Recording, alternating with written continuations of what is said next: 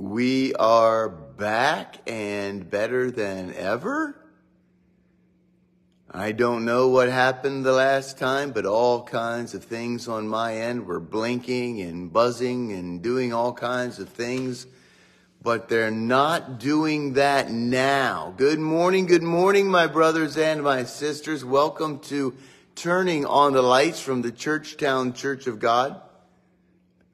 I am the pastor, Brian David Warner.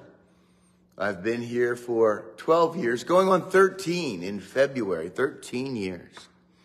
It's been a long stretch. It's been a wild stretch. There is no doubt about that. Oh my goodness, I cannot get my act together this morning. And all that we did before, I guess, was wasted because there was nobody here. The thing was not broadcasting. So, Rick, I've been uh, broadcasting for 10 minutes now and realizing that it wasn't working finally. That's how dense I am. No jokes, please. We I was rambling on about Randy Simpson tonight at 7 in the, con- in the uh, concert hall. Oh, Lord, have mercy on my soul. I was rambling on about Randy Simpson tonight in the sanctuary at 7 p.m. Oh, there's always something going on around here. Always something going on around here. Good morning, Mary. If it's not Randy Simpson, then it's some church event, it's a ministry, it's men's, it's women's, it's all kinds of things. Bible studies, right and left, all kinds of stuff. So yeah, if you're just joining us, I've been talking for 10 minutes into nothing before I realized that the, that Facebook wasn't working. Because I wanted to show you this. I wanted to show you this cool jacket or this cool vest. Watch. Look at this. huh? Very nice. Very nice. Huh? What do you think about that? Plus, I got a new patch for it in Hawaii. I am very excited about that. The vest came from a congregational member Miss Mary whom? it was her husband's. What an honor to be gifted such a thing. And we tried to make it such. There's the Churchtown Rider patch right there, and uh, all kinds of things to honor my father-in-law and Mary and Churchtown and God. And so hopefully uh, it's actually it's just oh, it's one of those things you know you feel like a little kid. You're like I'm never taking this off. I'm going to sleep in it. That's what I feel like. It. Good morning, everybody. Welcome to Turning On the Lights. Like I said, I was rambling on for almost 10 minutes before I realized that it wasn't working. And I'm not sure the light there. I don't know what's going on, but here we are. wanted to talk about a couple of things this morning. The first thing I wanted to talk about were was devotions. I am asked all the time, do you know a good devotion? do you know a good devotional?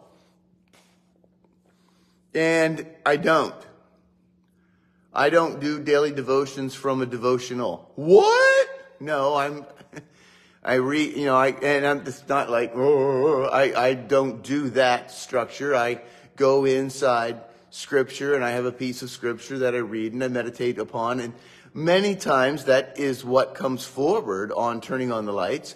Many times that is what comes forward on the Churchtown Weekly. If you look at the Churchtown Weekly, it was the same piece of scripture that we examined Tuesday on turning on the lights. And so I'll, I will dwell within a piece of scripture for a while.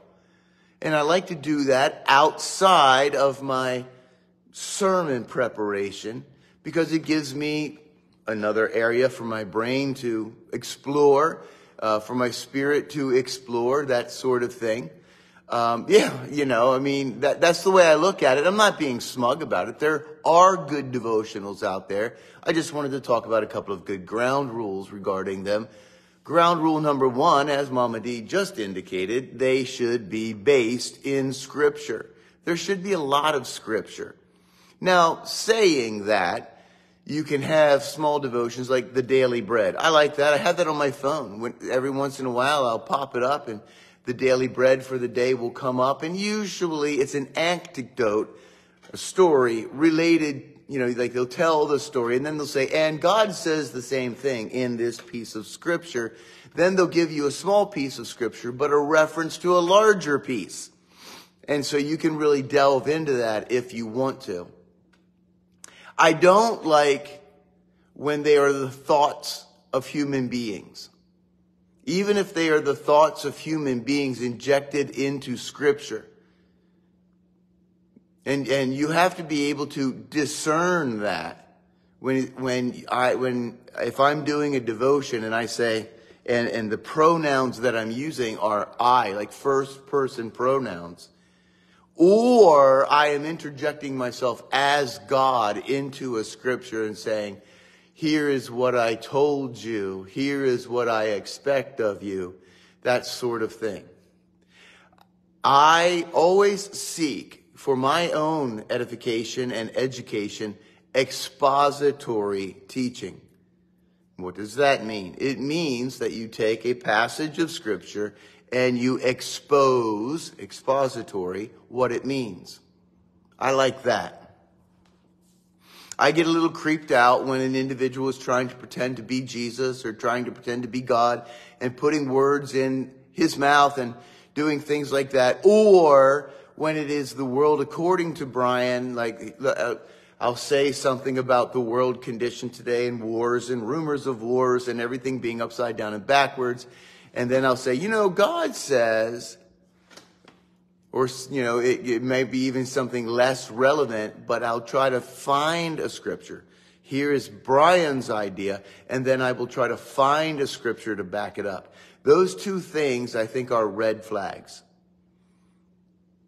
But when we find a scripture that, when we find a devotion that takes scripture and exposes its meaning. Now, if you go scripture, expository, and then application, that is the proper order. Oftentimes we talk about the lens of Brian and here's the application. And now let me go to the Bible and find a scripture that backs that up. That's the wrong order. So I don't know if that's helpful or not. But Bible, Bible, Bible, Bible, Bible, Bible, Bible.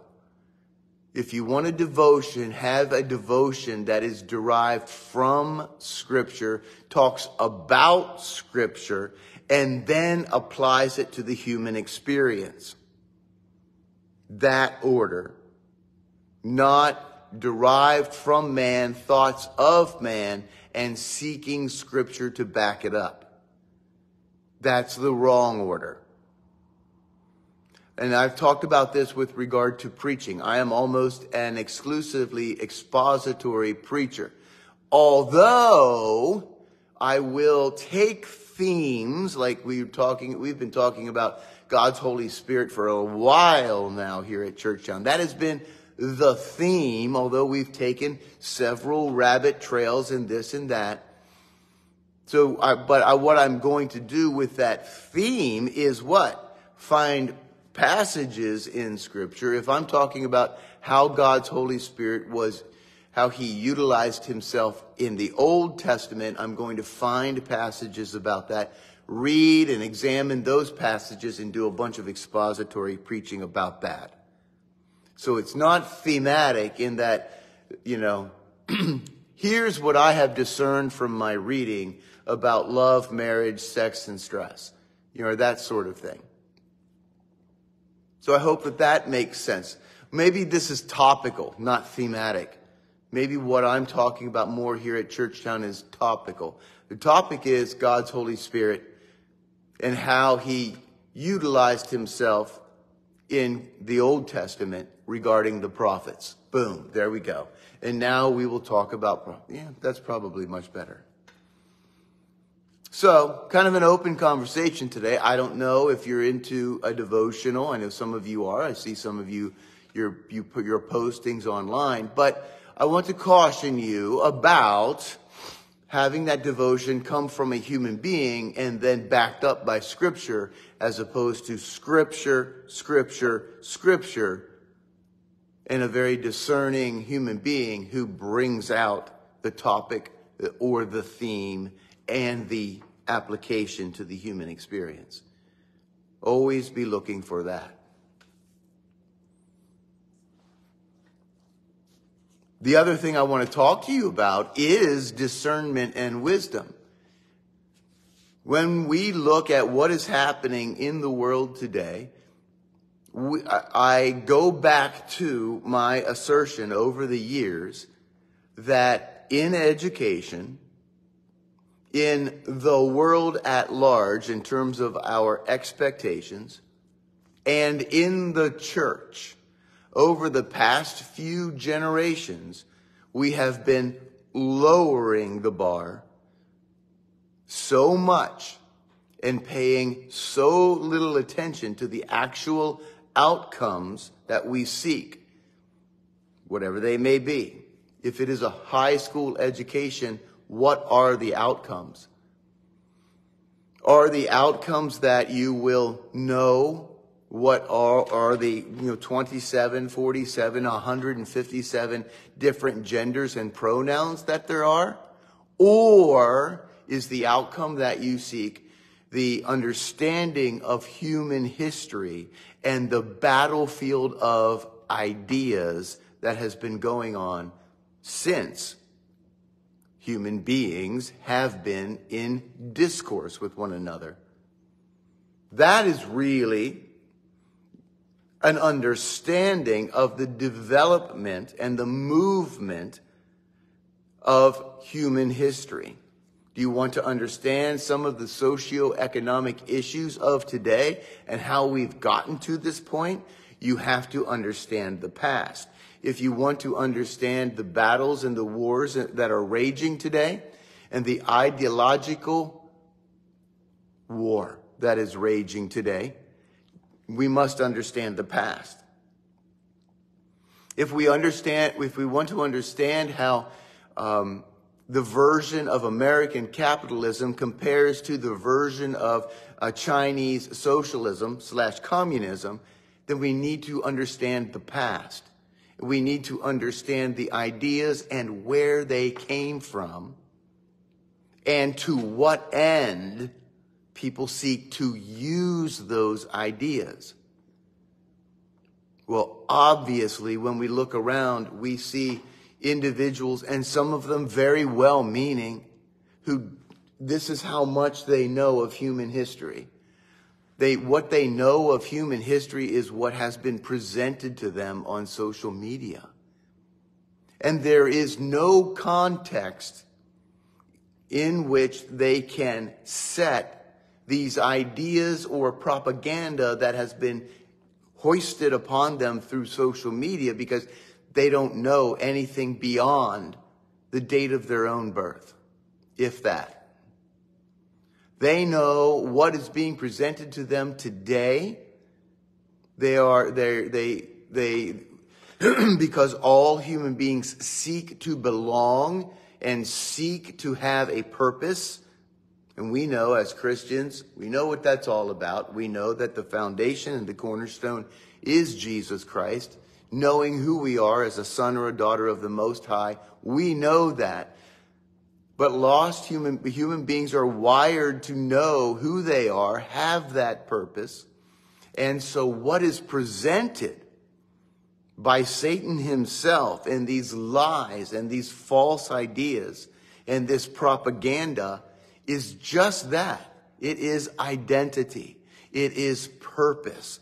And it comes with a way to dress, a language to speak, behaviors to participate in. And a human being who is lost, who is not of God, who does not know who they are, firmly entrenched in the Spirit of the Lord, covered by the blood of Jesus Christ, all of that will cling on to something that resonates with them or resonates with a group of people, their group of peers or friends, so that they can belong. Well, I should be outraged, oppressor, oppressed. Well, which side am I going to take? Obviously, the West is the oppressor, and all the rest of the world maybe minus giant communist China, is the oppressed. Well, what side do you think? I will choose the side of the oppressor, please. And so you have these impressionable, ignorant, young people who don't know any history beyond the date of their own birth, who are fed these ideas, these identities, this propaganda, and there they are. They see all of their friends becoming and choosing these identities and this ideological stance. I will stand with the oppressed. And they have no clue regarding the human history that has led to this moment in time. How much grace do we allow? Well, we allow all the grace that is necessary. All the grace that we allow right up until the, those ideas and the way that lost individuals are participating in those ideas threaten the safety and security of my family and myself. We allow for that grace. We read in scripture that the battle, the ideological battle, shall we call this spiritual warfare, the spiritual warfare, which will manifest itself in the physical warfare, which we see throughout the world and have for the past thousands of years.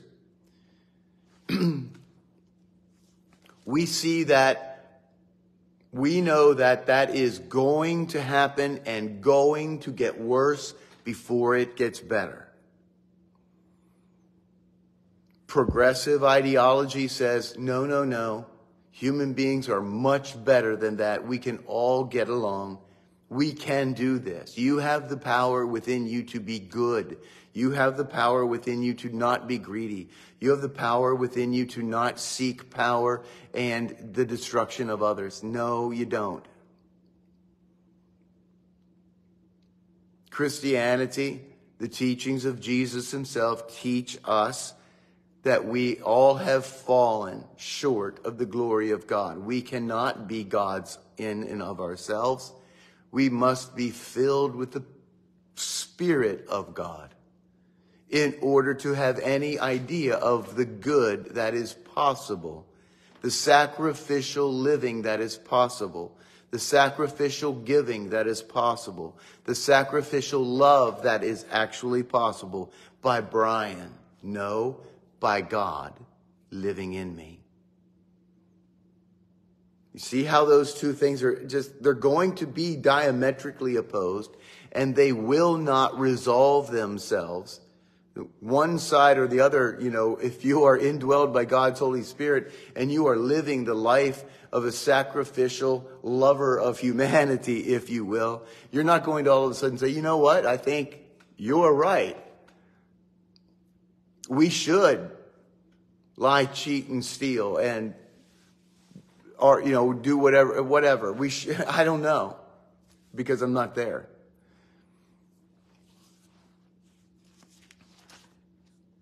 There's going to be fighting. And I don't like it. And I don't want it. But they're fighting now. They have been fighting for 1500 years. As the, as I've mentioned on Tuesday, this, the sons of Ishmael have manifested themselves in the form of Islam. And we see that diametrically opposed and it's happening and it's going to happen and this, these are the two very large camps, three very large camps. One, one is the ideology of government, the ideology of the state, worship of the state. And the state has the godlike powers. The state will provide the identity. The state will provide. Now we see that through the atheistic religions it's a real thing. Marxism, communism.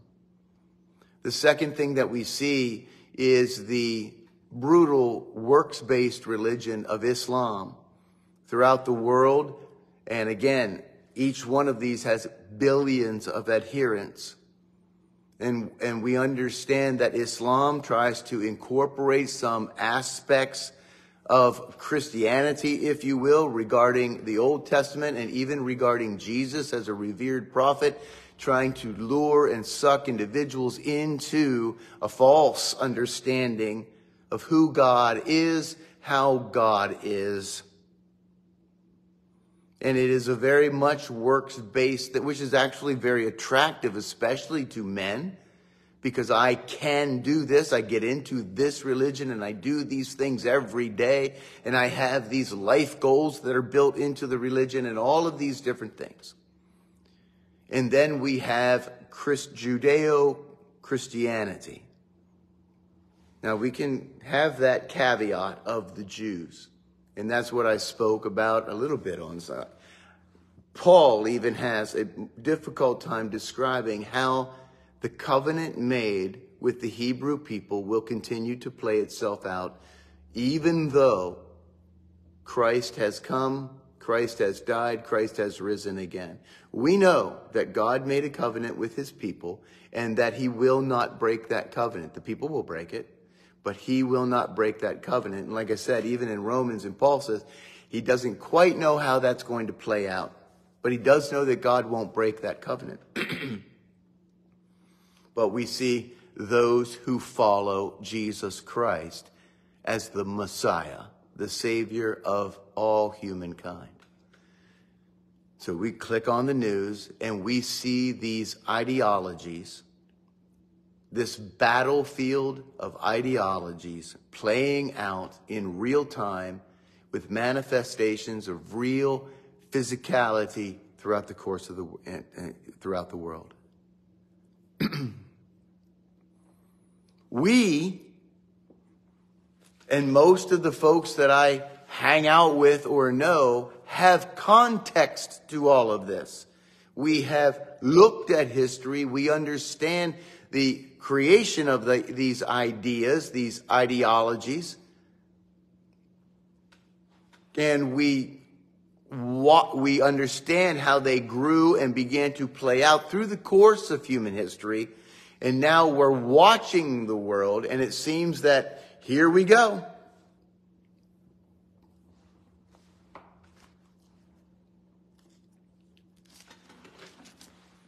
But it's important to understand as we watch ignorance.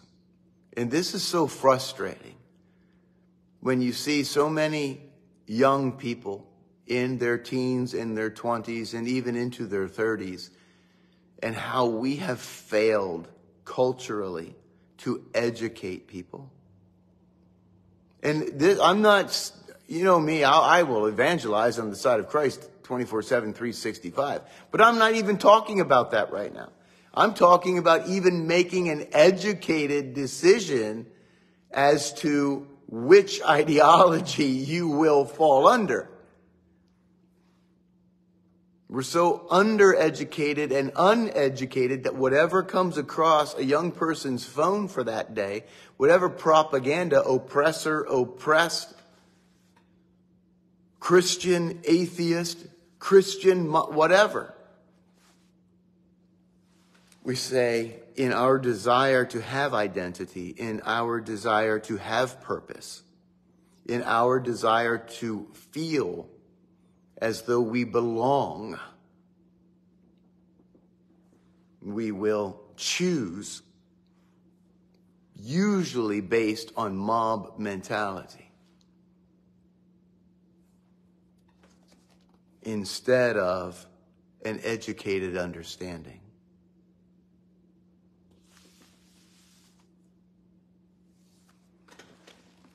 My child, listen to what I say and treasure my commands.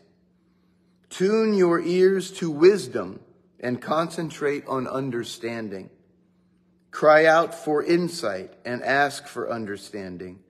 Search for them as you would for silver. Seek them like hidden treasures. Then you will understand what it means to fear the Lord. And you will gain knowledge from God. For the Lord grants wisdom From his mouth comes knowledge and understanding. He grants a treasure of common sense to the honest. he is a shield to those who walk with integrity. He guards the paths of the just and protects those who are faithful to him. Then you will understand what is right, just, and fair. And you will find the right way to go, for wisdom will enter your heart and knowledge will fill you with joy. Wise choices will watch over you. Understanding will keep you safe. Who teaches that to their children these days? Who has read that to their children lately?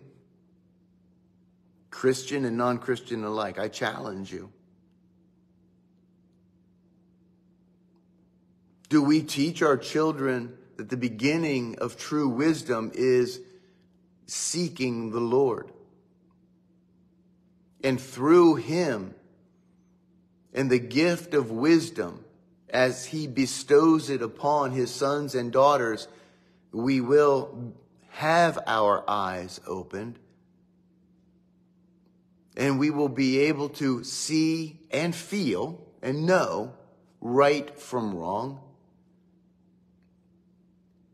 that we will seek through God to understand the events of the world in their historical context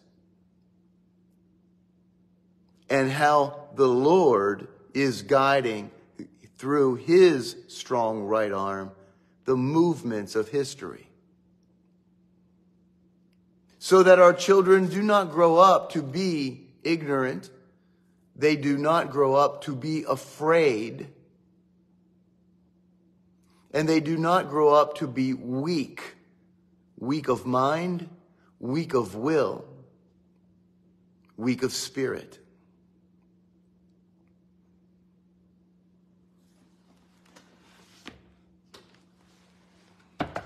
How many people teach that to their children teach that to their grandchildren,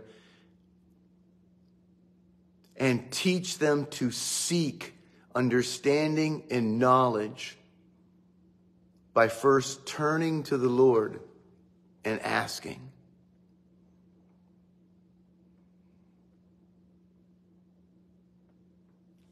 Father, we pray that in the name of Jesus Christ, your wisdom, your will will be done will be given and will be done on earth as it is in heaven. We pray that every one of your followers will right now turn to you and understand that we seek you first. Seek you first. Put you first. Have you first. that we sacrificially give our lives to you, that your will may be done on earth as it is in heaven. Lord, we pray.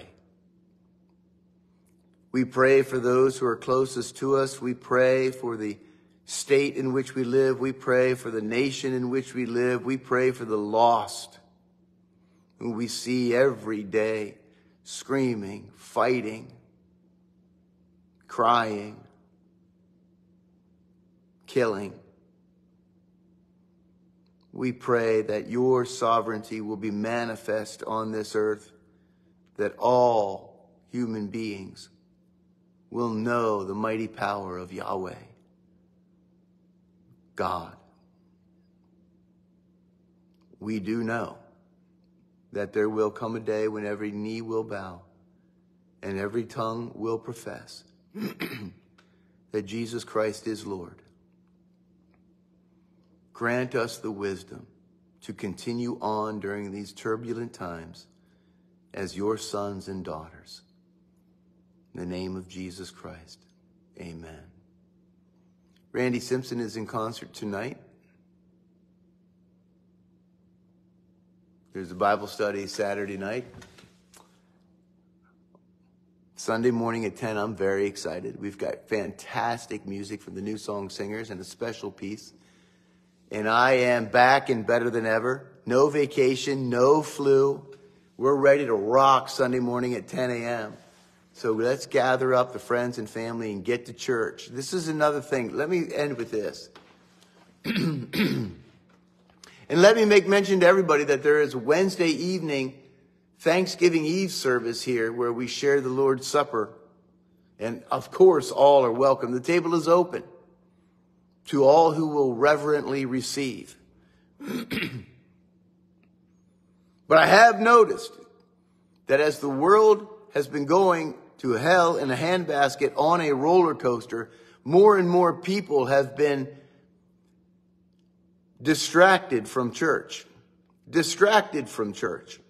We, we, we're going here, we're going there, we're doing this, we're doing that. It's almost as if going to church and being in community with fellow believers would make everything that's going on in the world more real and scarier. Because when you're in church, you see the truth, you know the truth, you're reading the truth, you're praying, you're in unity, you feel the power of the Lord, and you know don't be distracted. Don't let the events of the world and the clash of these ideologies and the seemingly lost, like hopelessness that is out there, turn you away from the cross. Unify. Unify as a body. There are 168 hours in a week. You can't take an hour and a half to unify with the body and belong. Come on, man. God bless you. Good Lord willing, and the river don't rise. We will see you Sunday morning in church. We're going to bring it.